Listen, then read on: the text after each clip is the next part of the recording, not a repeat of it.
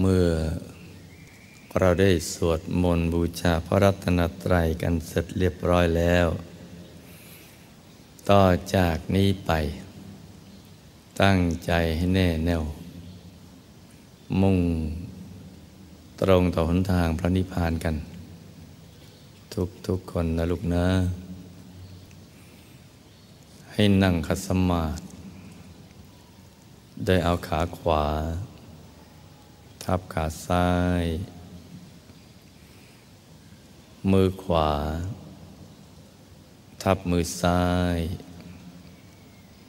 ให้นิ้วชี้ของมือข้างขวา จะลดนิ้วหัวแม่มือข้างซ้าย วางไว้บนหน้าตัก พอสบายสบาย หลับตาของเราเบาๆ คลอดลูก พอสบายสบาย คล้ายๆกับตอนที่เราใกล้จะหลับ อย่าไปบีบเปลือกตา อย่ากดลูกในตานะจ๊ะ แล้วก็ทำใจของเราให้เบิกบาน ให้แจ่มชื่น ให้สะอาดบริสุทธิ์ผ่องใส ไร้กังวลในทุกสิ่ง ไม่ว่าจะเป็นเรื่องอะไรก็ตาม ให้ปลดให้ปล่อยให้วางทำใจให้ว่างว่างแล้วก็มาสมมุติว่า ภายในร่างกายของเรานั้นนะปราศจากอวัยวะ สมมติว่าไม่มีปอด ตับ ม้าม ไต หัวใจเป็นต้น ให้เป็นที่โลว่างว่าง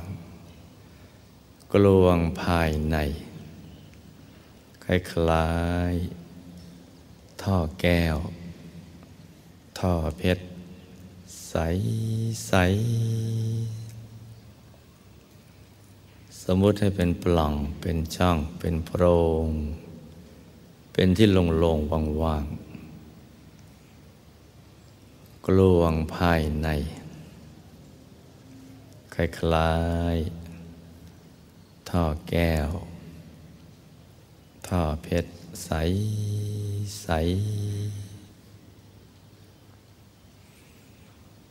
คราวนี้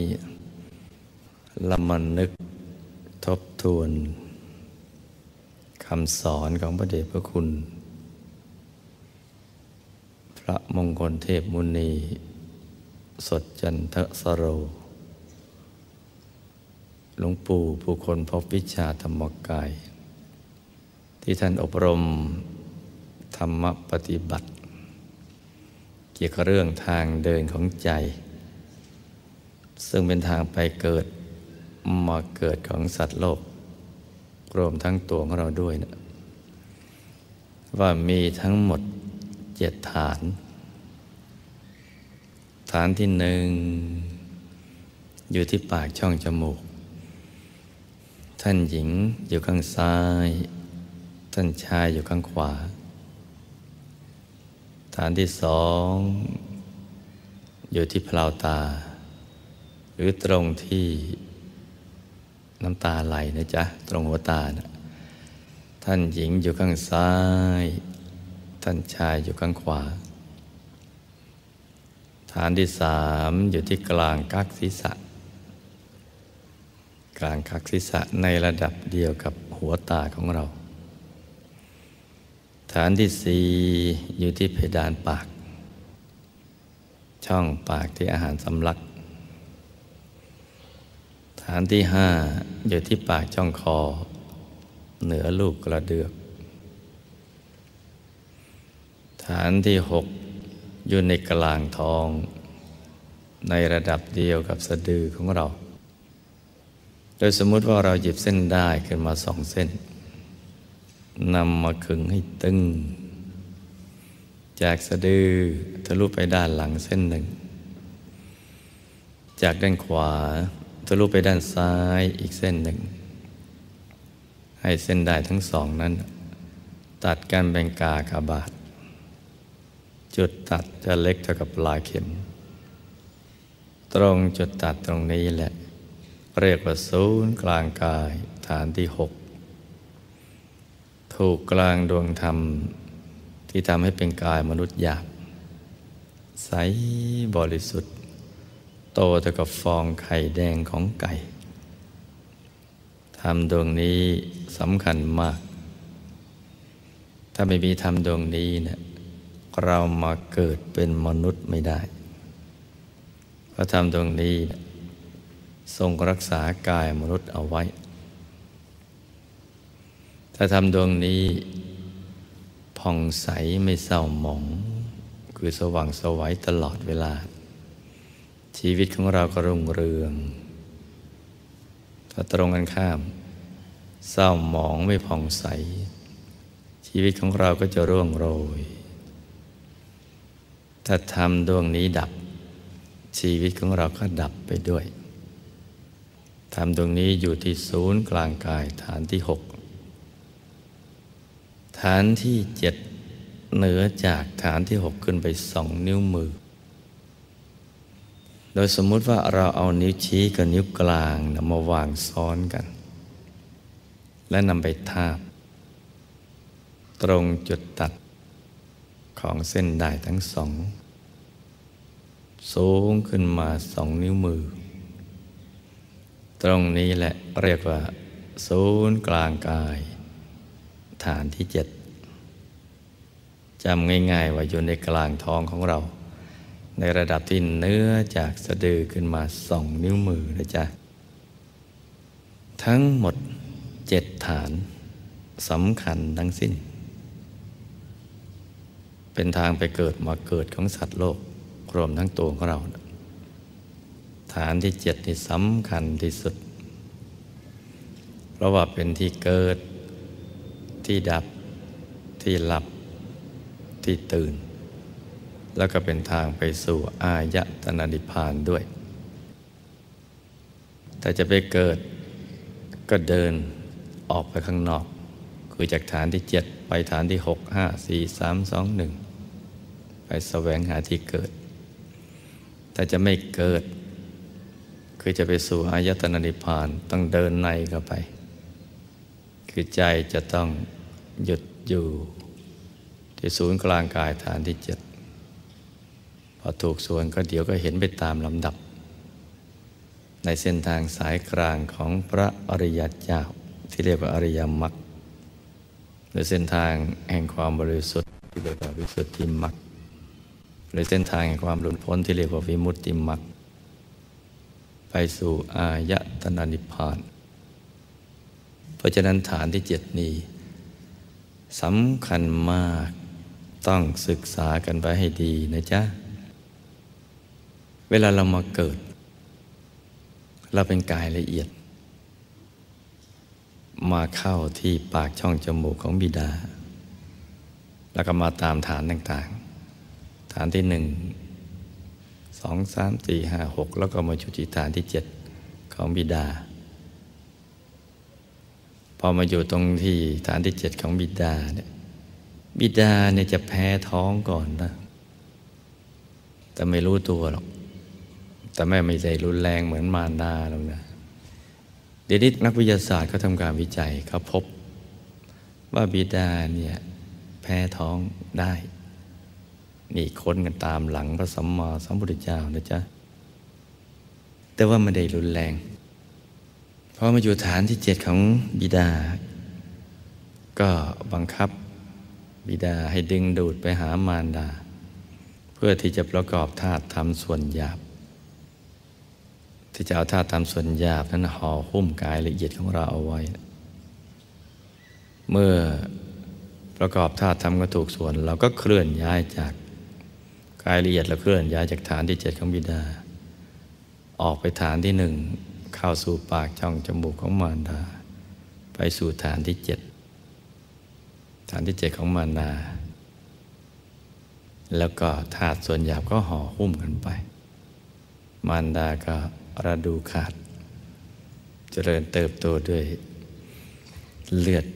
อาหารของมันดาที่หล่อเลี้ยง เจริญเติบโตกันเรื่อยมา นี่มาเกิดมาอย่างนี้ เวลาไปเกิดคือตาย ใจของเราเนี่ยจะมาอยู่ที่ตรงฐานที่เจ็ดอยู่ตรงนี้แหละจะหยุดนิ่ง แล้วก็จะมีภาพเกิดขึ้น ภาพรวมทั้งอุปกรณ์ต่างๆ กรรมนิมิตตารมเกิดมีภาพที่เราทำมา ตั้งแต่วันแรกเกิดเรื่อยไปเลยจนกระทั่งถึงวันสุดท้าย ปิดงบทุนชีวิต ซึ่งก็จะมีภาพทั้งดีบ้าง ชั่วบ้าง ไม่ดีไม่ชั่วบ้าง สลับสับเปลี่ยนกันไป แล้วแต่ว่า เราทำอย่างไหนมากกว่ากัน ถ้าทำดีมาก ภาพดีก็จะชัดเจน ถ้าทำชั่วมาก ภาพเป็นความชั่วก็จะชัดเจน ถ้าทำไม่ดีไม่ชั่วมาก ภาพไม่ดีไม่ชั่วก็จะชัดเจน จะเห็นเป็นภาพอย่างนี้ นี่หมายถึงการตายตามปกตินะจ๊ะ ไม่ใช่ประสบอุบัติเหตุอะไรอย่างนั้นเลย จะเห็นอย่างนี้ เป็นภาพเป็นเรื่องเป็นราว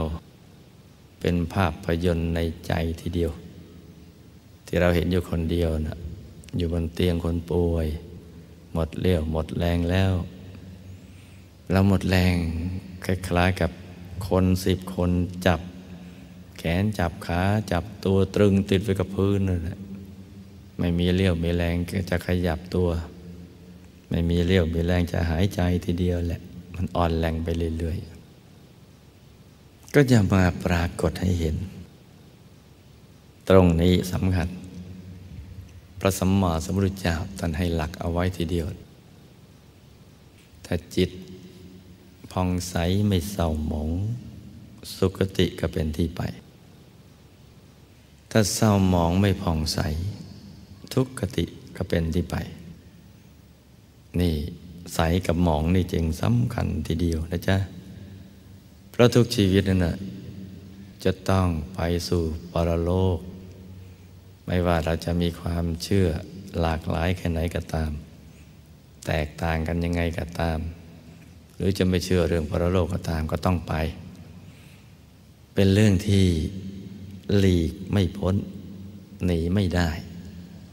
ต้องไปนะจ๊ะ ต้องไปสู่ปรโลก ซึ่งมีคติเป็นสองทางคือสุคติกับทุกติสัมมาสัมพุทธเจ้าให้สูตรชีวิตเอาไว้ ถ้าพองใสไม่เศร้าหมองสุขติเป็นที่ไป ถ้าเศร้าหมองไม่พองใสทุกขติเป็นที่ไป หมองกับใสสำคัญมาก แล้วมันมาหมองกับใสตรงนี้แหละ ตรงฐานที่เจ็ดตรงนี้แหละ เห็นอยู่คนเดียว เพราะฉะนั้น เมื่อเรารู้หลักวิชาอย่างนี้แล้วเราก็จะต้องทำตรงนี้ให้มันใสเสมอ ต้องทำให้มันใสใส ใจจะได้สบาย ภาพดีๆ จะได้เกิดขึ้น แล้วเราก็จะได้ไปสู่สุคติ ชีวิตหลังจากตายแล้วเนี่ยมันยาวนาน กว่าชีวิตที่เป็นมนุษย์ ยาวนานเป็นหมื่นเป็นแสนเป็นล้านเป็นหลาย ๆ ล้านปีจนเรานึกไม่ถึงทีเดียว คาดไม่ถึง เหลือเชื่อ แต่ว่ามันก็เป็นความจริงพระประสัมมาสัมพุทธเจ้าเนี่ยท่านหมดกิเลสแล้ว มีญาณทัศนะอันบริสุทธิ์ เห็นได้รอบตัวทุกทิศทุกทาง ไม่มีอะไรกำบังท่านได้ จะเห็นอะไรไปตามความเป็นจริง ท่านก็นำมาเปิดเผย ให้เราได้รับทราบ โดยมหากรุณาของท่านนั่นแหละ ด้วยจิตอันบริสุทธิ์ไม่มีอะไรแอบแฝงเลย โดยรักและปรารถนาดีอย่างแท้จริง จะให้ทุกๆชีวิตเนะี่ยไปสู่สุคติจนกระทั่งไปสู่สุขโตคือไปนิพพาน เพราะฉะนั้นคำสอนของท่านนะ จึงเป็นสิ่งที่เป็นจริงแท้ ที่เรายังมีกิเลสหนาปัญญาหยาบจะต้องฟังท่าน จะต้องเชื่อ แล้วก็จะต้องปฏิบัติ เพื่อพิสูจน์ว่าสิ่งที่ท่านพูดนั้นนะสอนมานั้นนะมันจริงแค่ไหน แต่ตอนนี้จำเอาไว้ว่า เราจะต้องทำให้ใจใสเสมอ ที่ศูนย์กลางกายฐานที่เจ็ดเราจึงจะปลอดภัย จากอบาย การจะทำให้ใจใสได้นั้นนะเราจะต้องนึกถึงสิ่งที่ทำให้ใจใส คือนึกถึงสิ่งที่บริสุทธิ์ เช่นพระรัตนตรัยหรือความดี คือบุญกุศลที่เราได้กระทำเอาไว้ อย่างใดอย่างหนึ่งนั่นแหละ จึงจะทำให้ใจของเราใส จะนึกถึงความดี ไอทานรักษาศีลเจริญภาวนา ในบุญยกริยาวัตถุสามประการก็ตาม หรือในบุญยกริยาวัตถุสิบประการ หรือกุศลกรรมบทสิบอย่างอะไรก็ได้และลึกให้ใจใสใสพอเรานึกถึงความดีแล้วมันปลื้มว่าคนอย่างเราเนี่ยเกิดมาแล้วเนี่ยได้สั่งสมความดี ได้ทำความดีด้กายด้วยวาจาด้วยใจ ตั้งให้ทานรักษาศีลเจริญภาวนาดำเนินชีวิตอยู่ด้วยความไม่ประมาท เติมความบริสุทธิ์ความดีงามของเราเอาไว้เรื่อยๆ มันปลื้มพอปลื้มปิติใจมันก็ใส นี่วิธีหนึ่งนะจ๊ะ อีกวิธีคือทางลัดระลึกนึกถึงพระรัตนตรัย นึกถึงพระพุทธเจ้า นึกถึงคำสอนของท่าน หรือนึกถึงประสงค์สาวก ผู้ประพฤติดีปฏิบัติชอบ อย่างนี้ก็จะทำให้ใจเราใส เบิกบานสบาย แต่ละโลกเราก็มีสุคติเป็นที่ไป ปิดประตูอบาย เปิดประตูสวรรค์ ถ้าจำง่ายๆในการระลึกนึกถึงพระรัตนตรัย ได้มีภาพให้พวกเราดู ที่เราได้ดูก่อนที่เราจะมานั่งหลับตาเนี่ยเกิดขึ้นบนจอ ถ้าจำได้ หรือใครมาไม่ทันเราก็นึกถึงภาพองค์พระที่บ้านก็ได้ แต่ใครมาทันกันนึกถึงภาพบนจอเป็นภาพ องค์พระแก้วขาวใสบริสุทธิ์ นั่งขัดสมาธิเจริญสมาธิภาวนา อยู่ในกลางดวงแก้วใส ๆ หันหน้าออกไปทางเดียวกับตัวของเรา ภาพบนจอจะเป็นภาพท็อปวิว มองจากด้านบนลงไปด้านล่าง นั่นละเป็นสิ่งแทนพระรัตนตรัย เป็นทางลัดให้เราจำภาพนั้นนะจ๊ะ น้อมไว้ในกลางกาย กลางท้อง ซึ่งเรามั่นใจว่าตรงนี้คือฐานที่เจ็ดจำภาพนั้นนะ ให้ชัด ให้ใส ให้สว่างอย่างสบายสบายให้จำภาพนี้เอาไว้ให้ดี ให้เป็นภาพติดค้างอยู่ในใจ อย่าให้เลือนจากใจ แล้วก็อย่าให้คลาดจากใจ อย่าให้ใจแวบไปคิดเรื่องอื่นจำภาพนี้เอาไว้ จะทำให้ใจเราใสบริสุทธิ์ ไม่เศร้าหมองนะจ๊ะจำภาพนี้เอาไว้ องค์พระแก้วขาวใสบริสุทธิ์ นั่งหลับตาเจริญสมาธิภาวนา อยู่กลางดวงใสๆ แล้วน้อมมาตั้งไว้ที่กลางกาย มองลงไปจากปลายเกศดอกบัวตูมของท่าน มองลงไปหรือจะมองคุมคลุม ให้เห็นภาพองค์พระในดวงแก้วก็ได้นะจ๊ะ อย่างสบายสบายในใจที่เบิกบานที่แจ่มชื่นนี่ทำอย่างนี้ เลื่อยไปเลย ใจจะได้ใส ใจจะได้บริสุทธิ์ แล้วก็หยุดใจไว้ที่ตรงนี้แหละ เดี๋ยวถูกส่วนเข้าเราจะเห็นท่านได้ชัดเจนทีเดียว และใจก็จะตกศูนย์เข้าไปสู่ภายใน จะเข้าถึงสิ่งที่มีอยู่ในตัวของเรา คือเราจะเข้าถึงดวงธรรมในดวงธรรมภายใน เข้าถึงกายมนุษย์ละเอียด กายทิพย์กายรูปภพกายอรูปภพกระทั่งกายธรรม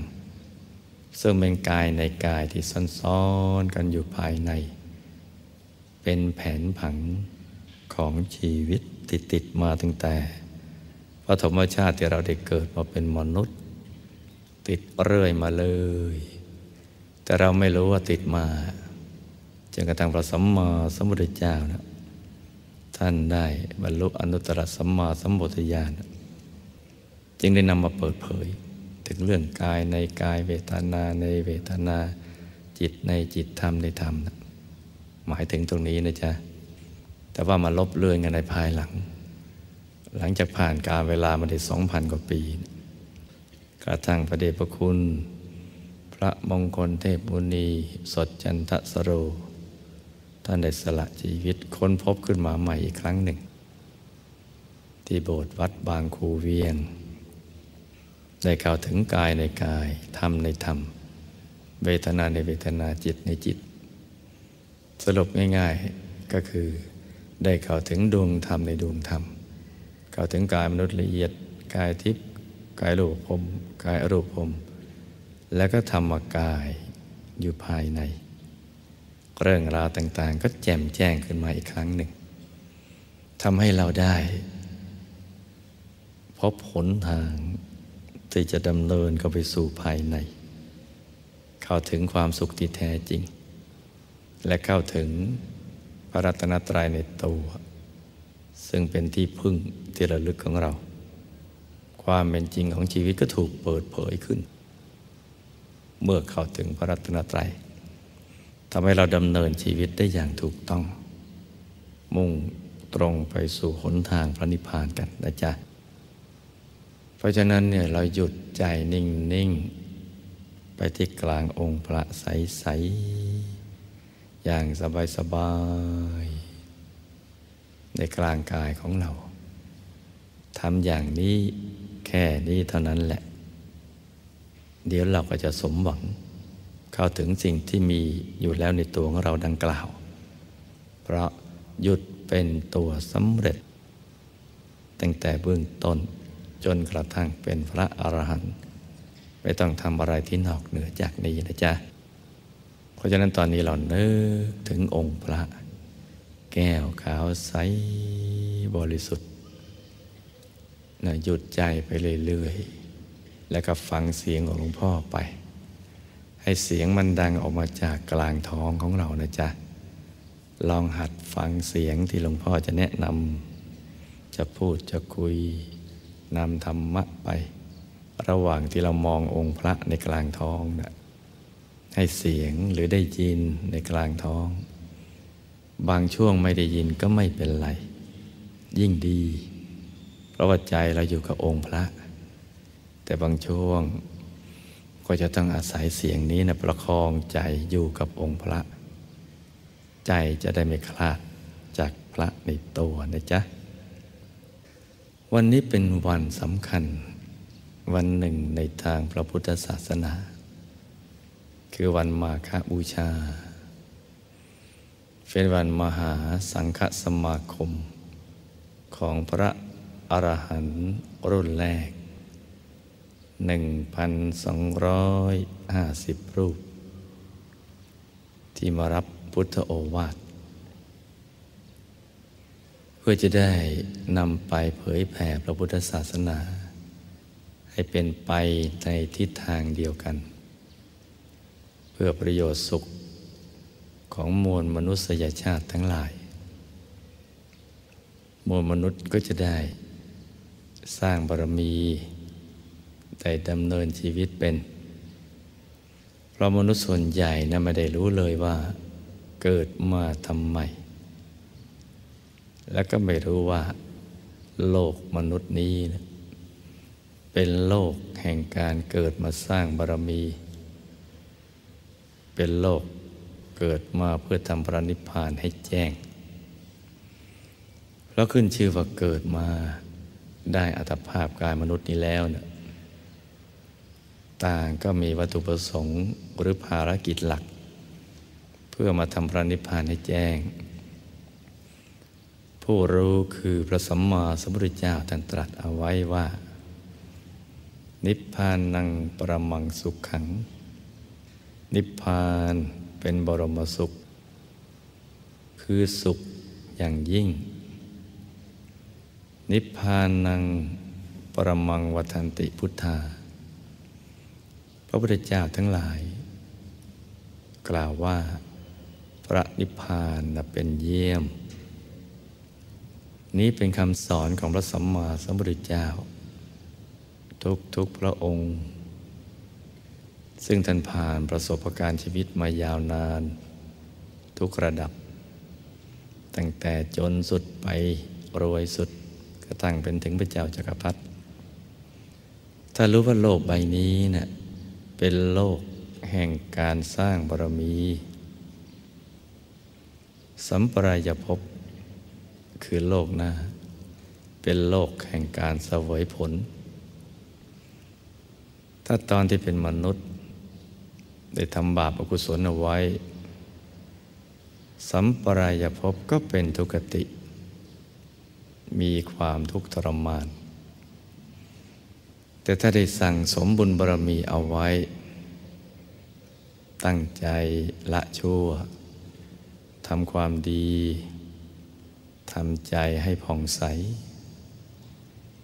สัมปรายภพก็จะมีสุคติเป็นที่ไป ซึ่งความเข้าใจในพุทโธวาท ที่ทรงสอนให้ละชั่วทำความดีทำใจให้ใสนี้นะเป็นคำสอนที่สำคัญมาก จะบ่งบอกถึงอนาคตที่รุ่งโรจน์หรือ ร่วงโรยได้ ดังนั้นเราต้องปฏิบัติให้มันถูกหลักวิชา หลักวิชาในการดำรงชีวิตอยู่บนโลกใบนี้ ต้องอยู่ด้วยความไม่ประมาท จะต้องไม่ประมาท ต้องสร้างบารมี สร้างคุณงามความดีอย่างเดียว โดยมีวัตถุประสงค์หรือเป้าหมาย คือทำพระนิพพานให้แจ้ง ฉะนั้นเราก็จะต้องใช้ทุกอนุวินาที สร้างบุญ สร้างบารมี สร้างความดีกันให้มันเต็มที่ เต็มกำลังถ้าทุ่มเททำจนหมดใจ จะไม่มีวันหมดตัว ถ้าอดทนสร้างบารมี จะมีนิพพานเป็นที่ไป ถ้าใจใสๆจะแก้ไขอะไรก็ได้ทุกอย่าง และการสร้างบารมีในโลกนี้เนี่ยจะมีการชิงช่วง แล้วก็ช่วงชิงอยู่ตลอดเวลา ระหว่างกุศลกับอกุศล ระหว่างความตรณีกับการสละออก เป็นต้น ความตรณีเป็นภัยในปรโลก ความประมาทในชีวิต เป็นอันตรายร้ายแรงต่อชีวิต ในวัฏสงสาร ถ้าเราจะหนีวัฏฏะหรือเราจะรื้อวัฏฏะ ก็ต้องทุ่มเทสร้างบารมีกันให้สุดใจ ต้องไม่ตรณีเสียดายทรัพย์ เราซึ่งจะได้สมบัติอจินไตยสมบัติจักรพรรดิตักไม่พร่อง ในภพชาติต่อต่อไป อย่าลืมว่าความตายนะไม่ได้มีนิมิตหมาย ไม่มีใครรู้ว่าจะตายวันไหน เวลาไหน สถานที่ไหน ด้วยอาการอย่างไร เพราะฉะนั้น แม้มีทรัพย์มาก แต่ถ้าไม่ได้สละออก ก็นำเอาติดตัวไปไม่ได้ นักสร้างบารมีที่แท้จริง ต้องไม่คิดว่าเราทำบุญมามากแล้ว คราวนี้ทำแค่นี้พอก่อน แล้วก็หวงแหนทรัพย์เอาไว้ไปทำอย่างอื่น ที่ไม่เป็นเหตุหรือไม่เป็นทางมาแห่งบุญบารมี ถ้าเป็นยอดนักสร้างบารมีที่แท้จริง พันหรือวัตตะคำว่าแค่นี้พอก่อน ก็จะไม่มีอยู่ในหัวใจ ของนักสร้างบารมี นักรบกองทัพทำเลย แต่จะทุ่มเทเอาชีวิตเป็นเดิมพัน ในการสร้างบารมี เพราะว่าความตายไม่มีนิมิตหมาย ใสกับหมองกำลังจริงช่วงกันอยู่ บุญกับบาป กุศลกับอกุศลกำลังจริงช่วงกันอยู่ เราต้องชิงช่วงมาสร้างบารมี ก่อนที่จะถูกช่วงชิงไป เพื่อให้มีบารมีมาก ๆ จะได้ทำพระนิพพานในแจ้ง เพราะว่าพระนิพพานนั้นนะพระสัมมาสัมพุทธเจ้าทุก ๆ พระองค์ ตรัสยืนยันเหมือนกันหมด ว่าเป็นเยี่ยมจริง ๆ วันนี้วันมาคบูชา เราจะต้องปฏิบัติตามพุทโธวาทเพื่อให้บรรลุวัตถุประสงค์ของการเกิดมาเป็นมนุษย์ ให้ได้เข้าไปถึงพระรัตนตรัยภายใน คือพุทธรัตนะธรรมรัตนะ แล้วก็สังฆรัตนะ รัตนะทั้งสามนี้เนะี่ยเป็นที่พึ่งที่ระลึก อันประเสริฐของพวกเราทั้งหลาย สิ่งอื่นที่จะเป็นที่พึ่งที่ระลึกเท่านี้หรือยิ่งไปกว่านี้นะ่ะไม่มีอีกแล้ว พระรัตนตรัยนี้เป็นแก่นของพระพุทธศาสนา เป็นหลักของพระพุทธศาสนา แล้วก็เป็นหลักชัยในชีวิตของเรา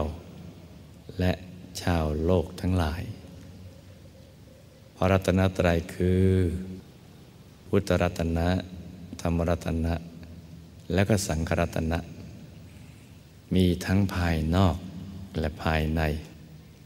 ถ้าพุทธรัตนะภายนอก ก็หมายเอาพระพุทธเจ้า หรือพุทธปฏิมากร ซึ่งเป็นตัวแทนของพระองค์ท่าน ธรรมรัตนะก็ได้แก่คำสั่งสอนของพระสัมมาสัมพุทธเจ้าแปดหมื่นสี่พันพระธรรมขันธ์ สังฆรัตนะก็ได้แก่พระสงฆ์สาวก ที่ฟังคำสั่งสอนของพระองค์ท่าน ได้เข้าถึงธรรม เป็นพยานในการตัดสรู้ธรรมของพระองค์ท่าน แล้วก็นำไปแนะนำสั่งสอนชาวโลก นี่เป็นพุทธรัตนะ ธรรมรัตนะ สังฆรัตนะภายนอก แต่ที่เรากำลังปฏิบัติอยู่นี้นะ เรามุ่งให้เข้าไปถึงพุทธรัตนะ ธรรมรัตนะ สังขรัตนะภายใน ที่สถิตอยู่ที่ศูนย์กลางกายฐานที่เจ็ดของพวกเราทุกๆคน ซึ่งการจะเข้าถึงพระรัตนตรัยภายในได้ ต้องทำใจให้ยุดให้นิ่ง เพราะยุดเป็นตัวสำเร็จ หยุดเป็นตัวสำเร็จ ที่จะทำให้เราได้เข้าถึง สิ่งที่มีอยู่ในตัว ที่เป็นแผนผังของชีวิต ให้เราได้เข้าถึงพระรัตนตรัยในตัว ดังที่ได้กล่าวเอาไว้เบื้องต้น หยุดอย่างเดียวถึงจะเข้าถึงได้ แต่ใจไม่หยุดก็เข้าถึงไม่ได้ะนั้นเบื้องต้น จะต้องหยุดใจให้ได้เสียก่อน ต่อจากนี้ไป ขอให้ลูกทุกๆคน เอาใจนำมาหยุด อยู่ที่องค์พระ กลางดวงแก้ว ซึ่งเป็นภาพที่ปรากฏบนจอแล้วเราจำกันได้นะหยุดนิ่งนิ่ง อย่างสบายสบายทำใจของเราให้เบิกบาน ให้แจ่มชื่น ให้สะอาดบริสุทธิ์ผ่องใส อย่างนี้แค่นี้เท่านั้นนะจ๊ะ แล้วก็ให้อยู่กับพระรัตนตรัยในตัวอย่างนี้ทั้งวัน จนกระทั่งไปถึงยามค่ำซึ่งเราก็จะได้ประกอบพิธีจุดมาคะประทีป เป็นพุทธบูชาแด่พระสัมมาสัมพุทธเจ้าและพระอรหันต์ทั้งหลาย ดังที่เราได้เคยประพฤติปฏิบัติสืบเนื่องกันมายาวนานทีเดียว เพราะฉะนั้นตอนนี้หยุดใจไปที่ศูนย์กลางกาย ฐานที่เจ็ดที่กลางองค์พระ มองตรงปลายเกศของท่านลงไปเลย เกศอกบัวตูม ตั้งอยู่บนจอมกระหม่อม บนประเสียน ที่มีเส้นประศกหรือเส้นผม ขดเวียนเป็นทักษิณาวัดหมุนขวาตามเข็มนาฬิกานะเรียงรายกันอย่างมีระเบียบ ใสบริสุทธิ์ทีเดียว มองไปจากด้านบนลงไป อาจจะเห็นคุมคลุมไปหมดเลยนะจ๊ะ ท่านนั่งขัดสมาธิเจริญสมาธิภาวนา หันหน้าออกไปทางเดียวกับตัวเรา วางใจเบาๆนะจ๊ะค่อยๆทำใจนิ่งๆ นุ่มๆละมุนละไม